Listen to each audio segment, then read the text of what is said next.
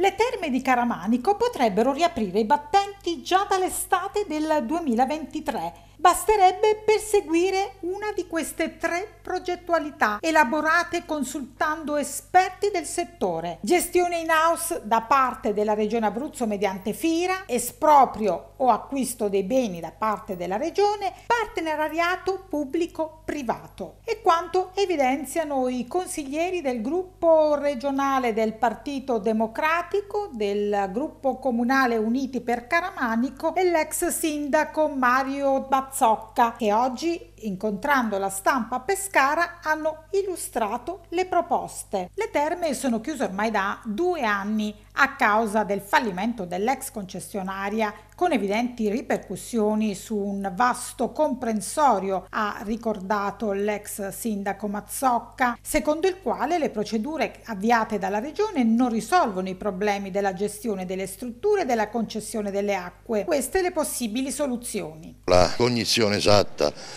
di ciò che in questi anni si è perso a livello di tessuto sociale ma anche e soprattutto economico,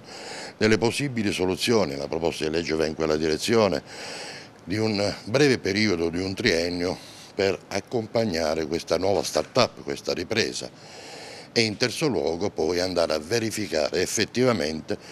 tutte le condizioni che poi devono essere messe nell'ambito della procedura di evidenza pubblica sia per quanto attiene la parte fallimentare di competenza dei curatori, sia per quanto attiene soprattutto la parte regionale, il tema delle, delle concessioni termali. E poi eh, una serie di domande che ormai noi poniamo alla Regione da circa tre anni non,